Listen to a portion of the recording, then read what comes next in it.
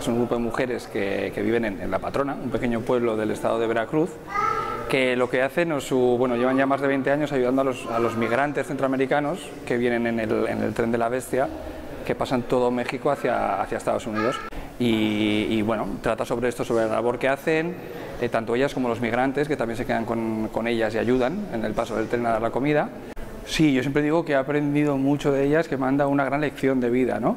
De personas que, que, sin tener tampoco muchos recursos, son personas que dan todo lo que tienen, todo lo poco que tienen lo dan, ¿no? Y, y unas personas y unas mujeres muy fuertes y muy valientes, porque incluso con el, el miedo que tenían eh, a ser incluso detenidas o arrestadas por ayudar a migrantes, a, personas ilegales, ¿no? Incluso de, de, las críticas de su misma sociedad que no veía bien este trabajo, ¿no? Entonces, me una lección de, de, humanidad, de solidaridad y de, y de, y fuerza, ¿no? Como personas también.